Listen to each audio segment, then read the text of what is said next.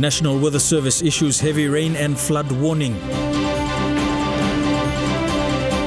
Two homes missed by fallen tower in Port Moresby.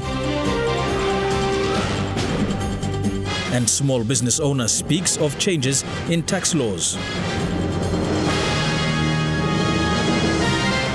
This is National EMTV News with Meriba Tulo. A very good evening. Thank you for joining us. This is Thursday's news. This morning, the National Weather Service issued a heavy rain and flood warning. It said the continuous downpour being experienced throughout the country may very well result in flash flooding and landslides. The Weather Service is urging all affected communities to take necessary precaution. Patricia Keamo reports.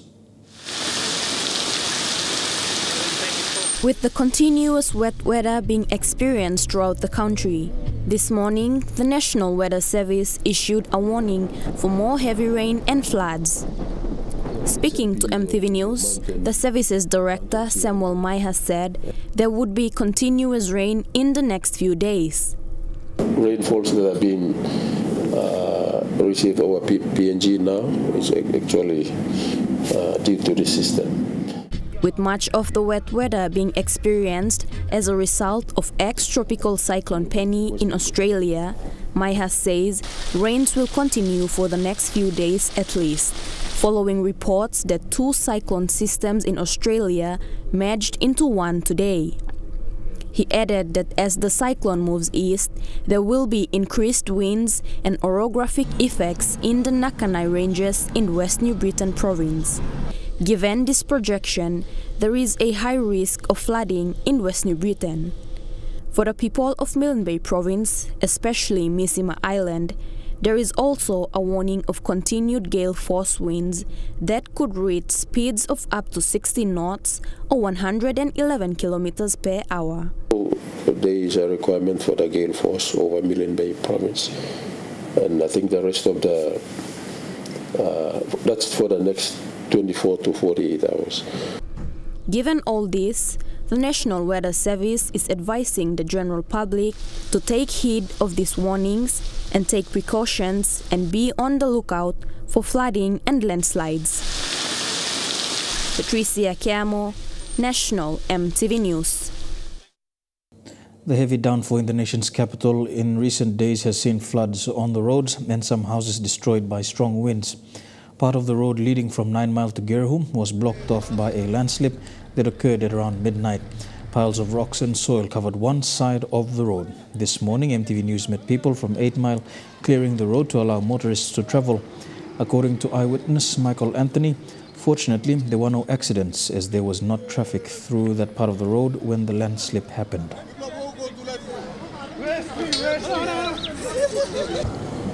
Come in lo night lo 12 o'clock mi bla start clean up lo stone now you can look in mogara stone go stop lab. Uh, stone em still em stop yet. Uh, mi bla no clear one time em by finish. So uh, this lo stone em sit down em no god uh, stand long em em basan up now. All him em stop em loose em stop. So time rain walk lo come down is sliding down every day. So now em big one come inside the road there uh, ogara time em stop outside lo drain tasol so now em as them come up on night, lo 12 o'clock, lo them come outside Ogaralo Road. So you are talking about the heap, one heap of mountain lo road lo eh. Na car no come, so no around accident come up on night. Na mibla carry on lo clean up some community, so mibla walk this la walk coming up now morning. A transmission tower collapsed last night in Port Moresby, narrowly missing two houses at the Guinea compound at Korobosea. This happened after continuous strong winds and torrential rain.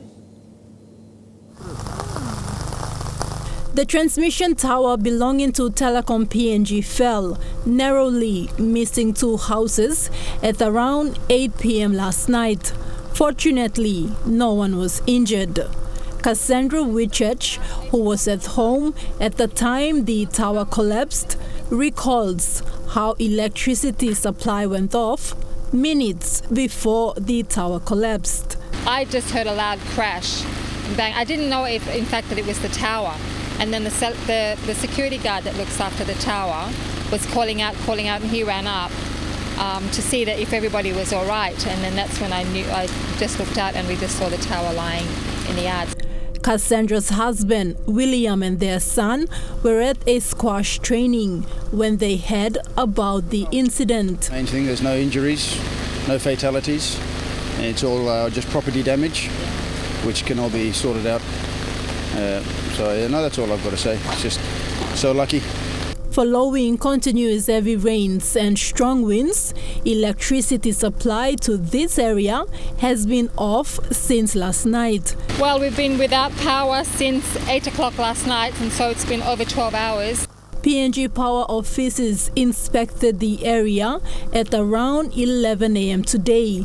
However, power was yet to be restored this afternoon. It has only been four months since the transmission tower was set up in September of 2018. The tower was an important asset for Telecom PNG as it transmits communication signals in the Korobosea and Two Mile areas. Thekla Gunga, National EMTV News. As a result of continuous heavy rains and strong winds, a house was destroyed last night at Taikone, Vabukori village just outside Port Moresby. Although fierce winds from the coast blew the roof of the house, fortunately there were no casualties as the occupants were not at home when the incident occurred. Elizabeth Guka reports. The house, settled on a hill alongside the coast of Taikone in Vabukori village, had its roof blown off into two separate halves after strong winds. Homeowner Killer Frank had gone to spend the night with his parents at their family home only a few meters away from where his house stood, whilst his wife and two children were also with their families at Baruni when their house was destroyed. His mother, Wari Frank, told EMTV News what had happened. The wind blew at about uh, 8 and 9 o'clock last night, and uh, we were all in the, in the main house, the big house. And uh, my son decided to check the door, if the door was locked. So when he ran to the house, he found that the house was knocked down. The roof was blown off onto the road and later dragged to the roadside by neighbors. No casualties were reported. My daughter-in-law and the two daughters were at Baruni at the time of the incident. My son is safe and sound. Mrs. Frank described how her son reacted when he found that his house had been destroyed. He was heartbroken. He was very heartbroken. He couldn't speak. The family is now appealing to their families, friends, and members of the public to assist them in slowly rebuilding their lives after losing their house and some of their possessions. As a mother, my heart goes out to my son because actually he spent a lot of money to build this house, and uh, we're actually thinking of uh, rebuilding it. And uh, we ask for, um, we appealing to those of our family members or maybe the public to come forward to help us. Elizabeth Guka, National EMTV News.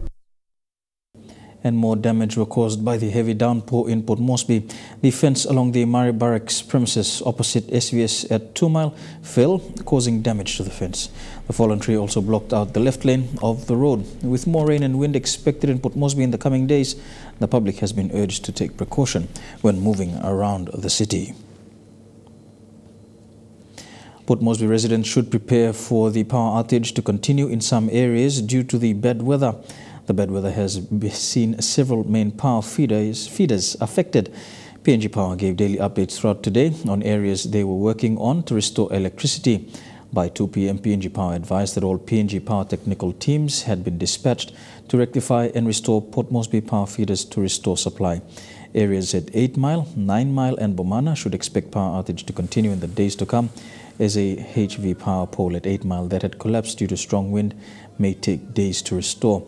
Meanwhile, the bad weather and power outage affected traffic lights and residents should take precaution when driving on Moresby's roads. And with the heavy downpour in the nation's capital, PNG swimming legend Ryan Pini and St. John Ambulance have warned the general public not to swim in flooded drains. There have been incidents in the past which resulted in children drowning while swimming in the drains during heavy rain. This is a safety message from St John's and I'm Ryan Pini. This is uh, some wild weather we're having at the moment and anytime it rains uh, we urge you to stay out of the water. It may look fun and adventurous but uh, it can be very dangerous. Uh, any still water or any moving water uh, you should stay out of. but there can be dangerous undercurrents that can sweep you away into drains. Uh, it's very dangerous for young children to be in there swimming alone. Uh, always keep an eye on anyone and uh, just stay away from any of these drains. So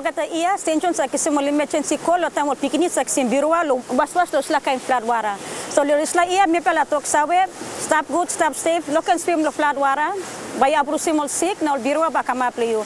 Planti time, ol pikini sa die inside the slow flood wara, na ambulance sa kamel pimol. So lo isla iya, stop good, stop safe, stop one bell, the family blilo house. You're watching National EMTV News. We'll have more of the day's stories when we return. Stay tuned.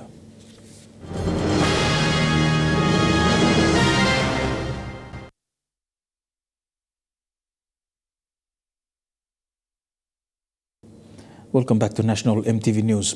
The tax increases implemented three days ago will be a burden for small businesses. Helen Kaupa, a trade store owner in Lae, says they've already been struggling with price hikes and the tax increases will only make things harder this year. Helen Kaupa and her husband Daniel have been operating this trade store in West Taraka for more than 10 years. Mrs. Kaupa said it's been a struggle operating this business because prices have been steadily increasing over the years. Ni kam na. Trade store na mi buy more something ni kam. Tax block this uh, la all cargo mi kisim e eh, mi go on tap through. Na mi With the tax increases imposed this year, a frustrated Mrs. Kaupa said it is too much. mi put him na mi put him list him all price na mi put him. All man looking mo send this la price lo kake e eh, mi go on tap too much. Na all less lo buy mo this la cargo blow mi swa blow. In November last year, the PNG government passed the new budget. For Helen Kaupa, she expects to sell chickens, tinned fish and biscuits at a much higher price with the new tax increases on flour, chicken and tinned fish. Li money mi na go buy mo something lo stu mi blow la working for. Government tax work lo go on tap go on tap. Helen Kaupa also has a poultry project. These projects bring income for her family. Tax block government. The lo kakaruk side, stock pit side, Mr. Bam, we got tax blame me go on top to. Ose na, this lady me la buy me school pin na me work him. Em hard through lo me. Lucy Kopana, National EMTV News, Lae.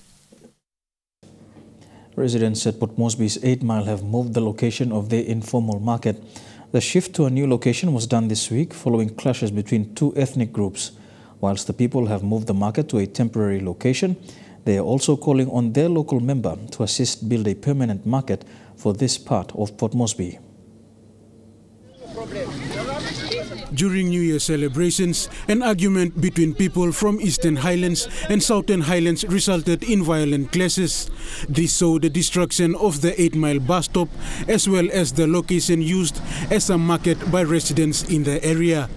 So this la mi plan atop no mi plan la province se mi plan stape mi plan lukio se no atop lo bam plan tam tam lo mi plan poret lo this la incident come up so mi plan come ta close to lo megriga bek bek yad lo megriga lo freeway na mipla kam setim disla lili hap market mipla community lo mipla rak market na mipla bakaiken na sawa bistap Following the clashes, the market had been moved to a location along the 9 mile to Gerehu Beck Road.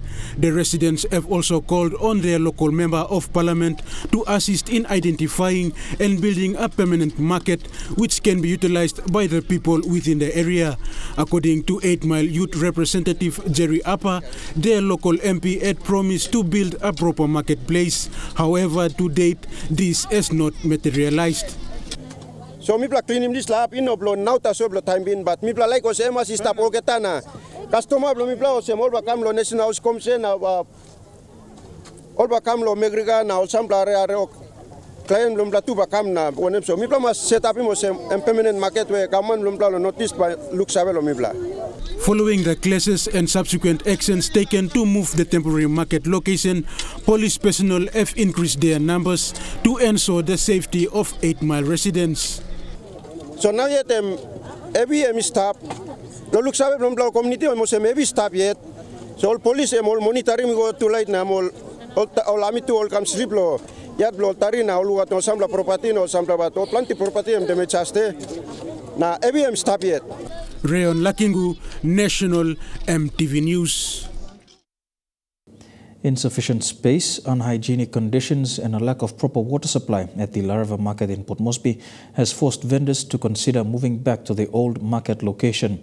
The market had been moved in 2018, just prior to the APEC Economic Leaders Summit week.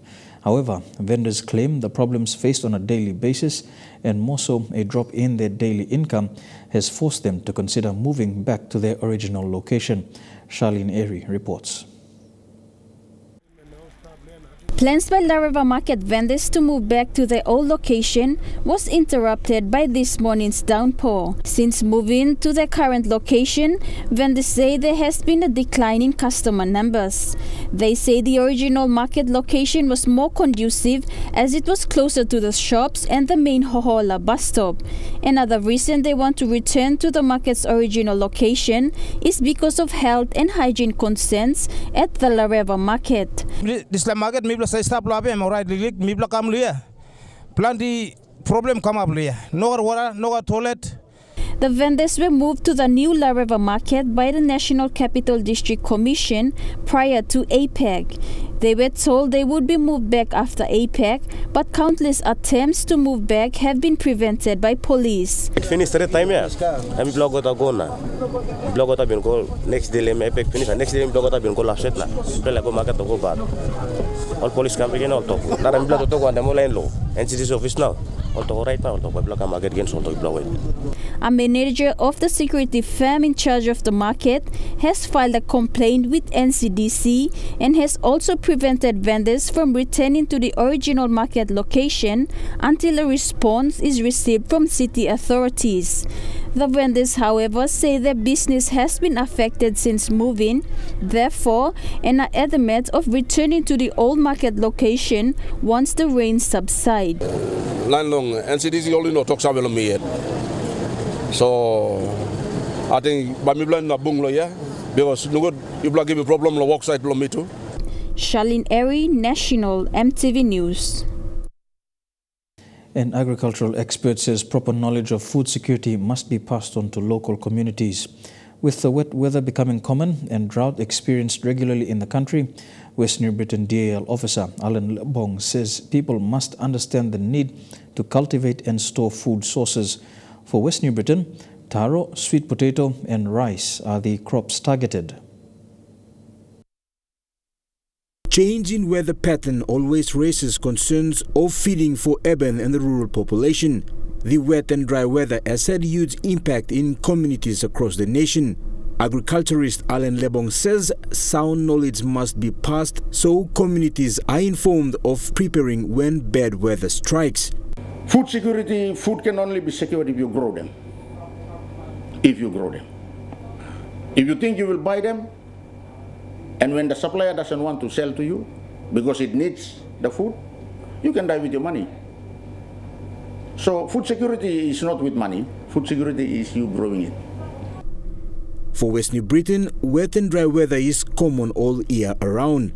Lebong has been a Diliman officer for almost three quarters of his life. He says multiplication farms are being established to help rural communities grow and store food sources. Government agency NARI is also supporting the local Diliman.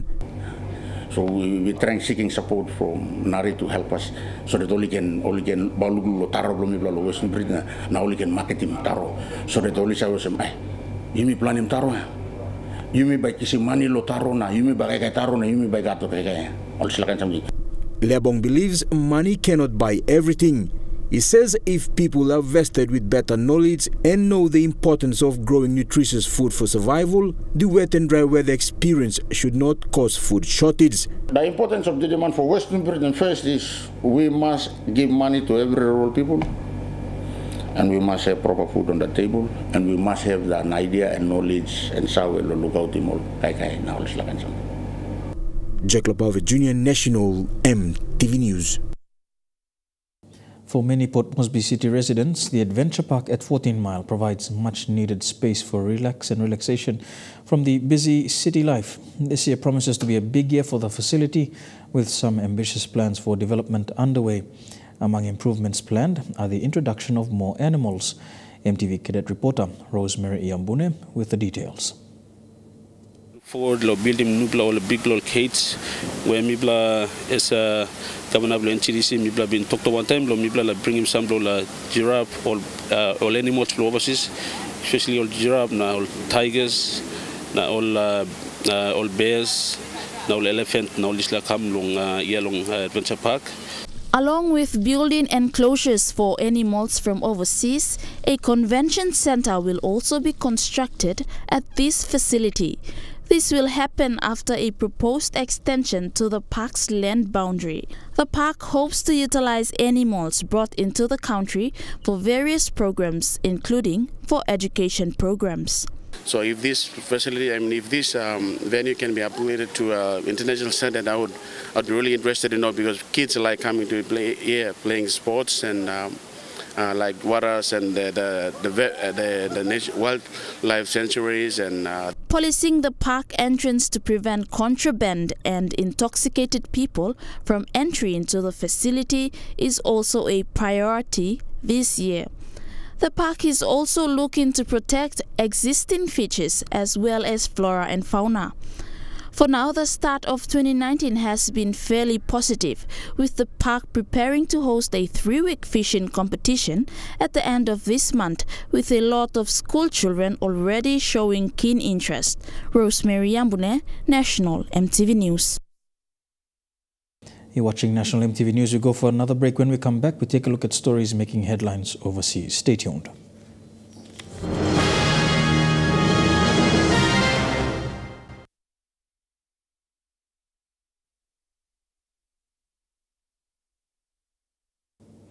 Welcome back to the news. Turning overseas now, six people have been killed and another 16 injured in a train accident on a bridge in Denmark.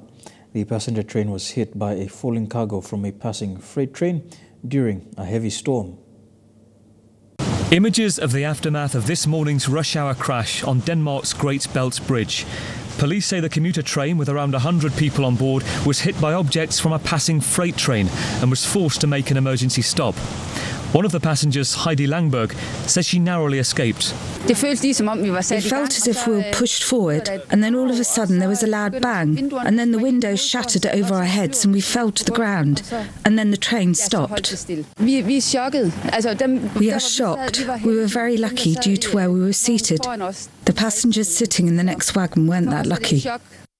The Great Belt Bridge is one of the busiest commuter routes in the country, connecting the Central Islands and linking Denmark and Sweden to Germany.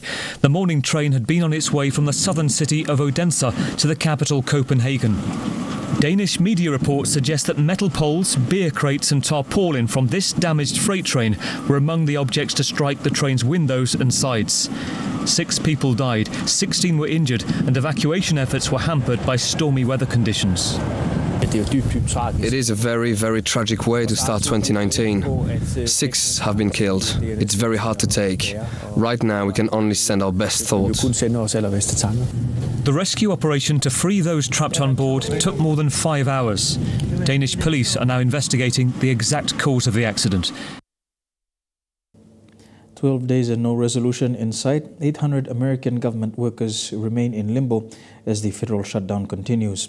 Neither the Democrats nor President Donald Trump are moving from their stance over the issue of the border wall. But the president is vowing to keep the government closed for, quote, as long as it takes. As congressional leaders headed to the White House today, President Trump told reporters to brace for the long haul. So, how long do you think the government's going to stay partially shut down? Could be a long time, or it could be quickly. Could be a long time. It's, it's too important a subject to walk away from. Day 12 of the shutdown and the impasse is only deepening. The president digging in on his demand for $5.6 billion to build his border wall. Look, when they say the wall's immoral, well, then you better got to do something about the Vatican because the Vatican has the biggest wall of them all. Uh, the wall is immoral. Look at all of the countries that have walls and they work 100%. The effects of this shutdown now literally piling up. Mountains of trash spotted on the National Mall. 800,000 government workers furloughed or working without pay. Even harder hit, at least 2,000 contract workers like janitors who may never get any of their back pay. Still, today the president publicly rejected a $2.5 billion compromise proposed to Democrats by his own vice president. We're asking for 5.6, and you know somebody said 2.5. Uh, now, look, this is national security we're talking about. Democrats made clear they aren't budging either. We're asking the president to open up government. We are giving him a Republican path to do that. Why would he not do it? NASA has revealed some clear photos of the most distant planetary objects ever explored. The ice world has just been passed by the New Horizons spacecraft, which traveled more than 6 billion kilometers from Earth to see it. Power. Go ahead, power. Power is green. Copy, power green. Mission control running through checks that confirm this incredible venture has worked. Our uh, SSR pointers are right where we predicted, so Flying right beside the most distant world ever explored. We have a healthy spacecraft. The relief of decades of planning paying off. And the scientists proud of giving us a view never possible before. Science to help us understand the origins of our solar system. What this spacecraft and this team accomplished is unprecedented. Here's where we were just, just a couple days ago. This was humanity's best image of Ultima Thule. Well, that image is so 2018. Meet Ultima Thule. They've discovered a strange shape which the scientists think looks like a snowman. It's a snowman. They've even produced this image to make the point about this rock left over from the birth of the solar system. And liftoff of NASA's New Horizons space. Back when the mission was launched, hardly anything was known about the outer reaches of the solar system. It was an extraordinary gamble just trying to get there. There's a lot that's surprising about this tiny world, made up of two pieces of rock joined together. So this may be the first glimpse of how the planets were eventually built. One lump binding to another over millions of years. This shape informs our models of planetary formation. You can see that they're clearly two separate objects that have come together. So it's, it's pretty exciting to see that. When New Horizons flew past Pluto, it revealed a world more active than anyone expected. Now, this latest encounter has produced something even more profound a snapshot of what it took to make planets like our own. To New Zealand now, the holiday road toll ended this morning with nine people losing their lives over 10 days. This year was New Zealand's deadliest road accidents in almost a decade. Near Dunedin, she was 24. In Auckland, it was a man in his 80s, and in Whanganui, he was only 17. My heart goes out to the friends and families of all of the nine people who lost their lives. It's tragic and unnecessary. Nine people died on our roads between Christmas Eve and today. It's the lowest holiday toll in five years, but it's also the shortest period since 2013. I'm pleased that it's fewer than last year, but it shows how much work we have to do to bring down the deaths and serious injuries on our roads. Despite the holiday toll being down, 2018 was a nine year high at 380. New Zealand ranks 38th in the world for road traffic deaths, higher per capita than Australia, the UK, and Norway, which has a similar population, although some countries are much worse, like Thailand near the bottom of the list. Everyone thinks that the people that crash are just the guys that are being stupid or just the bad guys, but actually it's about 50 50. Half the people who are killed on our roads are just good, honest Kiwis who are making mistakes. $1.4 billion has been invested in improving New Zealand's road safety over the next three years. In urgent road safety upgrades to our highest volume state highways and our most dangerous local roads. AA absolutely welcomes that investment. Is it enough? I'm not sure that it is. Is it happening fast enough? I'm not sure that it is. We want to see the timing on some of those projects because the problem is here right now. But until then, experts say it's drivers who need to take responsibility for keeping the roads safe. New Year is when we make resolutions and we look back on the year just gone. I think people could look back and say, was there a time I drove too fast? It's actually on us as well. We should be the best drivers that we can be. To help curb the number of lives being cut short. Auckland based Bill Holwright spent his birthday playing golf, but he might just be the oldest. Bill turned 101 today. It's golf at a sedate pace, with good mate Jim on the clubs and teeing up the ball. Well done. Bill Hallwright in his happy place at the start of a special day. Normally I have two rounds a week, and sometimes three. Not bad for 101, but. the retired surgeon knows the nine hole course so well, they've made him an honorary member. Three years ago, I did a, uh, this hole in one. Uh, we spent 10 minutes looking for the ball, and the ball was in the hole. With only a couple of holes under his belt, news of Bill's 101st birthday round spread across the course. I just admire the man. I think it's absolutely wonderful. Yeah, it's fantastic. Oh, good. Oh, you missed it. But Bill's missed little in his long and remarkable life, according to youngest son Mike. The experiences we've had together has, have been amazing. Born in the remote Hawke's Bay town of Wairoa, the centenarian trained as a doctor, spending five years in the Army Medical Corps during World War II. A big day for some of our lads. Married to Pat for 60 years, the couple had three children. They were great together. It's been very sad since Mum died, but uh, he's a fighter. Bill came to golf late, too busy earlier in life due to the demands of being a surgeon at two Auckland hospitals. Any similarities between surgery and golf? No. That's what I know. but fellow golfers assure there is a connection between Bill's career and love of golf. The precision stuff? Probably, yes. What is the secret to such long life? I haven't clue. yes! But there's one thing Bill is sure about his absolute favourite. Oh, Lee, she's magnificent. Wisdom indeed from a senior in a field of his own. Here with Thursday's news, we go for a break. When we come back, some sporting updates in Trukai Sports. Don't go away.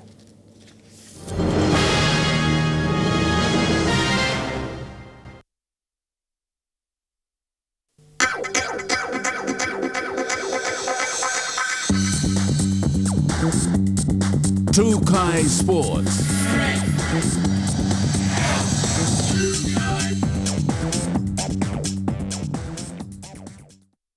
Welcome to Trukai Sports.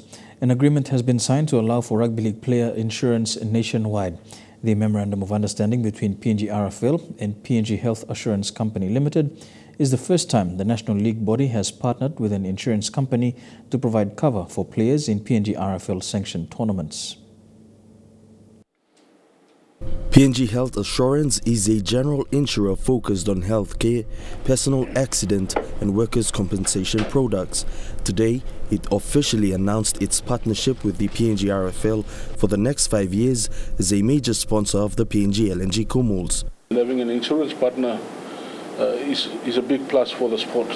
Uh, there are the major platinum sponsors for the PNG Kumuls, but the opportunity for us to work with them, with an insurance partner, to uh, grow the sport and give confidence to our stakeholders. After signing of the formal agreement at the end of February, PHA will become the number one insurance partner of the PNG RFL. Getting an insurance partner to underwrite some of the risks that uh, our players and officials have to put up with uh, in playing the sport has been a major challenge for us. So we were to give in-house guarantees uh, that the welfare of the players and officials are being taken of. But having an international uh, insurance firm with credibility like this work with the sport, uh, we, the opportunities for us to actually look at insurance for our players from all across all our six tiers.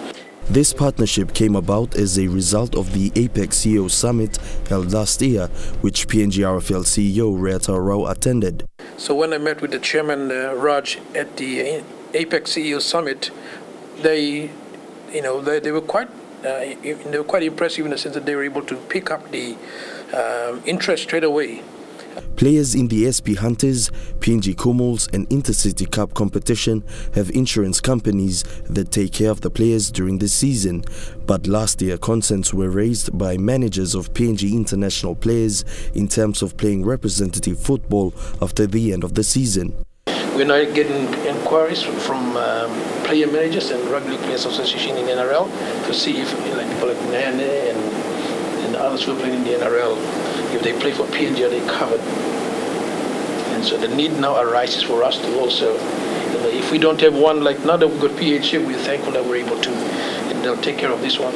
But if we don't have it, all the international players that are once the league season is over, if they play for the country after the season, and if the annual contract doesn't cover it, then we're going to cover it. And so we're thankful that this they, they come in a big way to help all those uh, insurance needs. This partnership aims to provide some comfort for rugby league players in the country over the next five years. We see this partnership as a combination of the power of sport, sports with insurance that has the ability to transform the daily lives of PNG citizens. Elijah Levet, National MTV Sports. Still on rugby league, 10 more players have been released from the SP Hunters pre-season train-on squad. Coach Michael Marum has given these 10 players programs to continue training and has given advice on areas that they need to improve on. 32 players still remain with about 6 or 7 more players to be released before the start of the Queensland Intrust Super Cup season. The SP Hunters will resume pre-season training on the 7th of this month at the Oil Search National Football Stadium. The final squad for the 2019 ISC competition is expected to be named by the end of this month. Don't go away, we have more of Trukai Sports after these messages.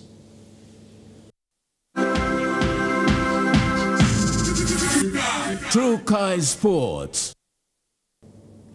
Welcome back to Trukai Sports. To some sports abroad now, and in cricket, Martin Guptill has passed Brendon McCullum to become New Zealand's fourth most prolific run scorer in one-day international, with the Black Caps leading over Sri Lanka in New Zealand. It's been almost a year since Colin Munro and Martin Guptill last opened the batting, but they seem to pick up where they left off. Straight up, really Munro keen to answer any criticism over his recent form, but perhaps guilty of trying too hard. He'll back on it, he's gone as a result. The catch itself worthy of a second look, but no second chance for Munro, out for 13. Kane Williamson then got the best seat in the house as Martin Guptill, on his return from injury, provided a timely reminder of his one-day pedigree.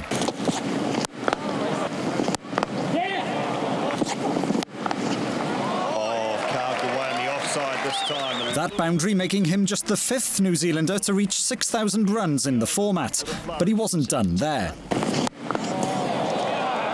That's not really a natural stroke for Guptill, but the timing is exquisite. Williamson's decision to bat first seemingly vindicated as they breezed to a 100 partnership. Power from Guptill. Huge six. Before the skipper himself passed 50 for the 45th time in his ODI career. The Black Caps captain eventually dragging one onto his own stumps for 76. Guptill made sure he didn't fall short of a ton, bringing up his 14th one-day 100 shortly after. And a century that will please the skipper, the selectors and many New Zealand fans. Then came the fireworks, and not just from the opener. Oh, oh, Ross Taylor also peppering the boundary. A leading edge eventually forced Guptill to depart for 138. Not a bad return to the international arena for a man who felt he may be rusty. A quick-fire 50 by Ross Taylor and a 35-run over from Jimmy Neesham, which included five sixes, helped the Black Caps to 371 for seven, their highest ever one-day total against Sri Lanka. A daunting chase under lights. The tennis and ASB Classic favourites Caroline Wozniacki and Venus Williams look set to face off in a star-studded quarterfinals clash if they can win their respective matches tonight. The other six quarterfinalists have already been decided after centre court last night. At just 17, Amanda Anisimova is the youngest player in the top 100. The wild card stunning veteran Barbora Strycova with booming forehands. Oh, Anisimova with it on a string, just hammering down that backhand side. And delicate drop shots. 6-3, 6-3, the teen showing composure beyond her years to charge into the quarters after a night of feisty encounters where Eugenie Bouchard had come out firing. Well, if that's not decisive, I don't know what is. But quickly unravelled against Bibi Schoofs. Oh, did. The Canadian lost her cool, then the first set. Schoofs continued to cause her problems in the second. Bouchard did level the match, not that her coach was convinced. The clear problem is your attitude.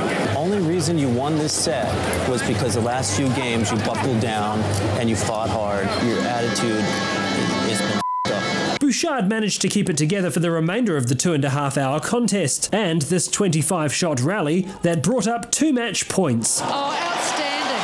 The player echoing her coach's thoughts. At times during the match, it was not good. Um, I got too emotional. Emotions also boiled over for Julia Görges, who hit out at match officials after a ball coming towards her was mistakenly called out. Görges not happy the point wasn't replayed. But what are you here for? After sealing victory and with the umpire still seated just metres away, the tension continued. What's going on?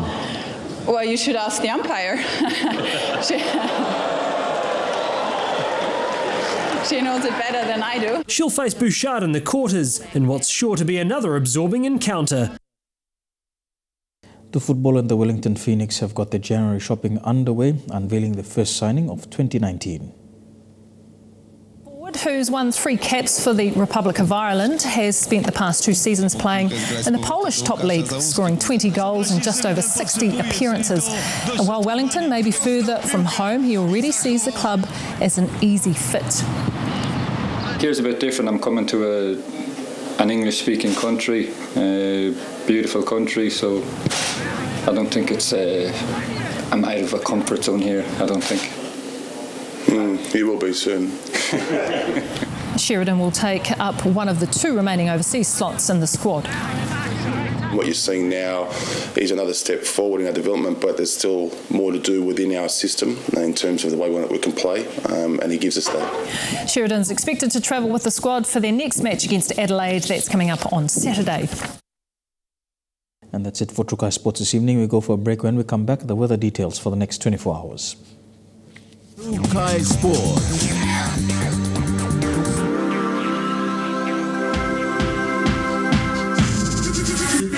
Trukai Sports. The weather details were proudly brought to you by Dulux, celebrating 50 years in PNG and the only paint made in PNG.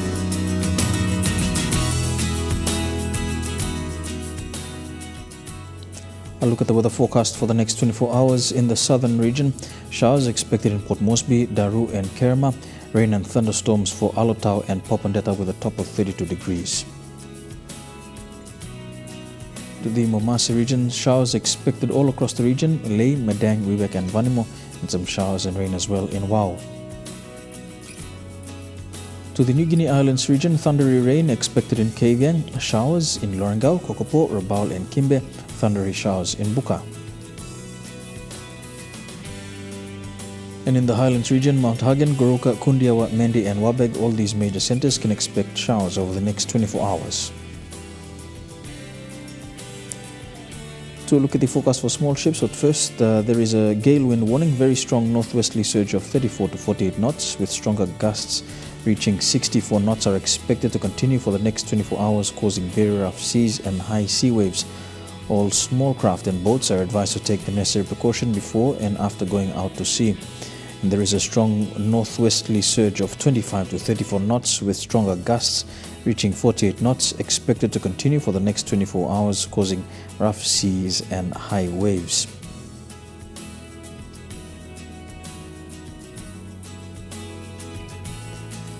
To look at the forecast for small ships for the next 24 hours.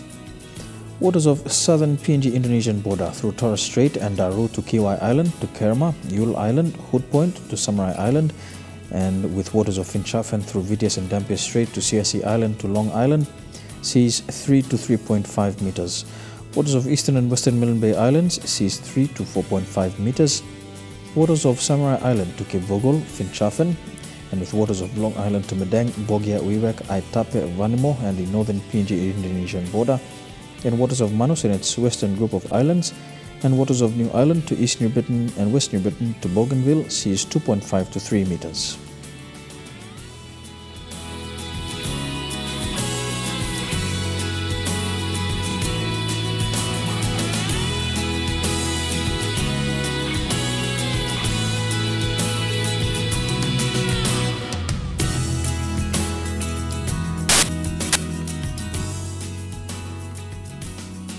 And a look at the ocean forecast for PNG areas. Coral Sea, Seas very rough to high seas with northwest to southwesterly winds of 34 to 48 knots with stronger gusts reaching 64 knots. Solomon Sea seas rough to very rough with northwesterly winds at 30 to 48 knots. Bismarck Sea seas rough to very rough with northwesterly winds at 30 to 48 knots. And the Pacific Ocean seas rough to very rough with northwesterly winds at 30 to 48 knots.